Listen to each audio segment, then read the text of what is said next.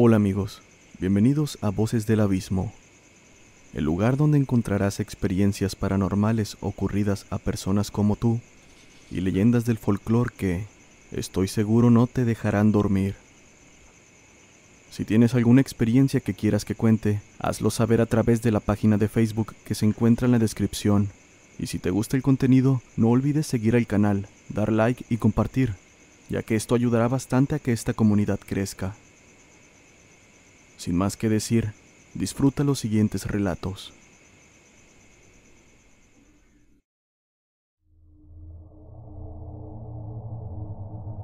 Me crié en un pueblo pequeño donde las leyendas abundan. Por las tardes, en aquellos tiempos los vecinos se reunían para convivir un poco, mientras nosotros los niños jugábamos en lo que ellos contaban innumerables historias. Entre tanta plática, no faltaba quien sacara el tema de terror, que hacía que a varios nos llamara la atención, sin importar que nos pusiera la piel de gallina. Recuerdo una leyenda que, a pesar del tiempo, aún logra asustarme, a tal grado que ha hecho que me sienta poco tranquilo al caminar solo por las noches. Mientras lo hago, lo único que me viene a la mente es aquella historia. La historia fue contada por mi madre y esto fue lo que dijo. Cuando yo estaba más chica y apenas estaba en construcción la casa, mi padre hizo su taller, el cual quedaba retirado de la casa. Sin embargo, desde la cocina podíamos ver con claridad la actividad en su taller, donde mi papá se encontraba trabajando hasta altas horas de la noche. Una vez mi madre me pidió que le llevara comida a mi papá, porque ya se le había hecho tarde. Recuerdo que esa noche sentí todo diferente. Desde que salí de casa todo parecía extraño, a tal grado que parecía estar demasiado lejos el taller de mi papá. Esto a pesar de que sabía que usualmente llegaba en pocos minutos sin problema alguno. Mientras avanzaba, Sentía en momentos como si alguien me estuviera siguiendo, pero por más que volteaba para ver algo, jamás pude distinguir nada. Empecé a sentir mucho miedo. Podía escuchar unos pasos que me seguían, así que apresuré la marcha para poder llegar al fin al taller de mi papá. Mientras caminaba, vino a mi memoria las veces que contaban que en las afueras del pueblo vivían personas que practicaban brujería y otros que eran nahuales. Decían que, por esa razón, los pobladores habían hecho un pacto con aquellas personas, enviándolos a vivir a las afueras del pueblo. Esto con el fin de proteger a sus hijos de que algo o alguien se los quisiera llevar. Con el corazón muy agitado llegué al taller de mi papá, y él inmediatamente notó mi nerviosismo. ¿Qué tienes? me preguntó. Siento que alguien me viene siguiendo, respondí asustada. Sin decir nada, mi padre tomó un machete que tenía en su taller para acto seguido cerrar la puerta. Nos quedamos en silencio y claramente pudimos escuchar el jadeo de un animal acompañado de fuertes pisadas alrededor del taller. Con la poca luz que podía entrar al lugar, alcanzamos a ver la figura de lo que podría parecer un perro negro, pero de gran tamaño. El animal daba vueltas alrededor del taller, buscando la manera de entrar. Al ver la actitud de aquella bestia, mi padre me dijo que me pusiera debajo de una mesa y que no me moviera, ya que eso no era un perro, se trataba de un nahual. Al voltear mi padre hacia una de las ventanas, notó que a lo lejos la puerta de la casa estaba abierta. Nuevamente giró su cabeza hacia donde estaba aquel perro, el cual también trataba de mirarlo. Nos dimos cuenta porque, por las rendijas de las ventanas, se podía distinguir el inusual brillo de sus ojos como si aquel animal adivinara el pensamiento de mi padre, se dirigió rápidamente a nuestra casa, y asustado de que ahí sí pudiera entrar, mi padre intentó seguirlo con el machete, pero justo cuando estaba a punto de alcanzarlo, aquel perro negro se esfumó ante sus ojos. Mi padre regresó por mí y nos fuimos juntos a la casa. Y no fue hasta el día siguiente cuando ya teníamos la luz del sol que logramos distinguir en la tierra las huellas de aquella extraña bestia. Unas huellas que definitivamente no eran de un animal común. Después de esa aparición, mi madre cuenta que hubo días en que vio a lo lejos a una bestia vagando por las cercanías de la casa.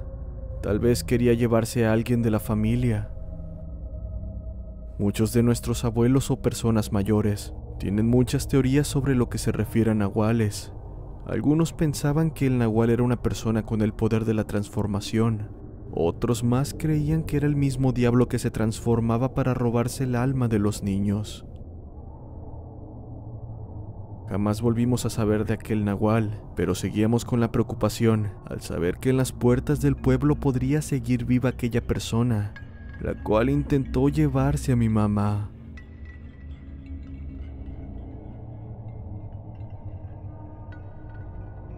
Cuenta mi padre que su papá era muy buen comerciante, político y que hasta director de la banda del pueblo fue.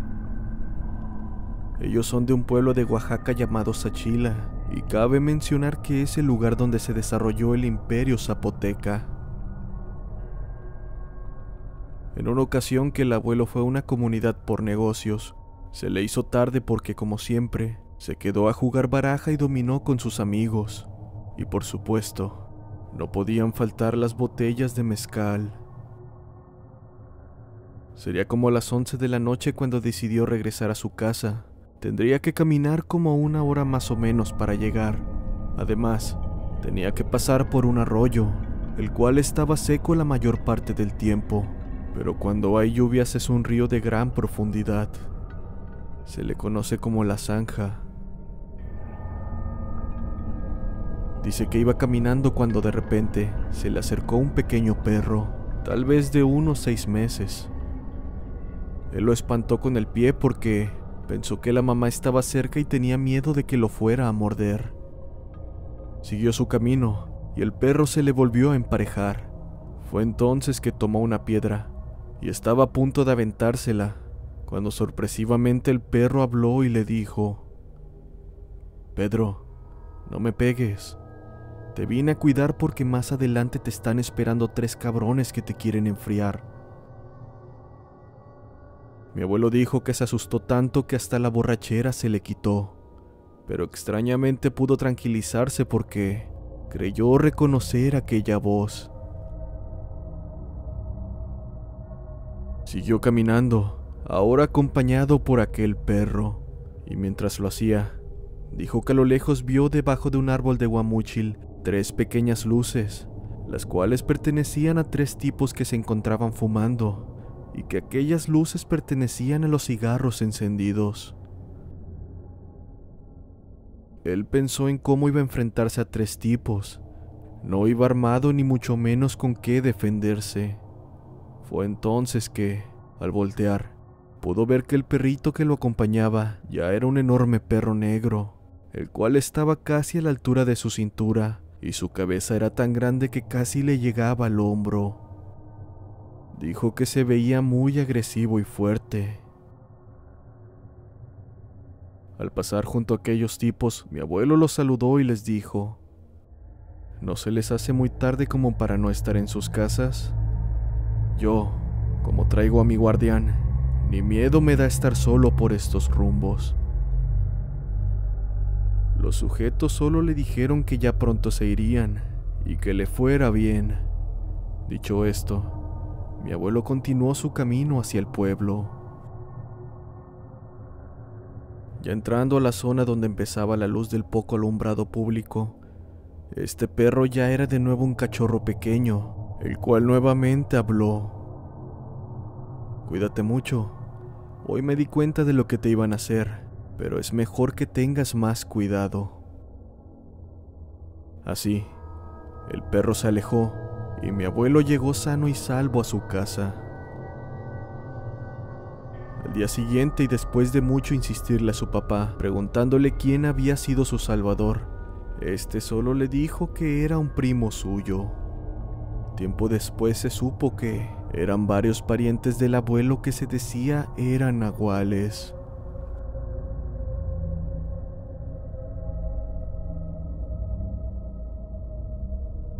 Una noche dominada por el silencio, marchaba un grupo de cazadores en busca de alguna presa en los bosques del actual municipio de Chautempan. Los árboles parecían inertes y apenas se oía ruido alguno, salvo el temible movimiento de algo que se escondía entre los arbustos. Exhaustos de no encontrar ningún animal, los cazadores avanzaban lentamente, cuando de repente algo despertó su letargo. A lo lejos avistaron la figura de un enorme perro negro que los miraba fijamente. El perro no hacía nada, simplemente permanecía estático, como si de una estatua se tratase. Uno de los hombres pensó que podía serles útil, así que decidieron acercarse y capturar al can, pero en cuanto estuvieron a menos de dos metros, el perro comenzó a ladrar y a mostrar los dientes, y en sus ojos se podía apreciar una violencia inusitada. Los cazadores espantados le dispararon en una pata, hecho que hizo al perro huir apresuradamente. Los hombres lo siguieron hasta llegar a una extraña cabaña en medio del bosque, iluminada tenuemente. Llamaron a la puerta para alertar a la gente del interior de la existencia de un perro negro salvaje en las cercanías y al abrirse, vieron únicamente a un campesino. Este los invitó a entrar a la cabaña, y allí los cazadores se sorprendieron al ver muchísimas riquezas. Mientras los hombres le preguntaban al campesino si había visto al perro, pudieron notar que el aldeano se curaba una herida en la pierna. Sin más percance, poco después abandonaron la cabaña y salieron del bosque. Al llegar a la aldea más cercana, decidieron descansar en un bar, contándole al tabernero lo acontecido aquella noche. El tabernero les explicó que en realidad Desecan no era otra cosa más que el campesino, quien al parecer había vendido su alma al diablo.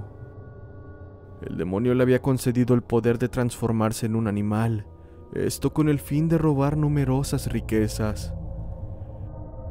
El tabernero también los alertó de que su ambición podría resultar muy peligrosa, por lo que les aconsejó ir provistos de crucifijos y un cinturón de piel de víbora, prenda utilizada para que el nahual se transformase de nuevo en hombre.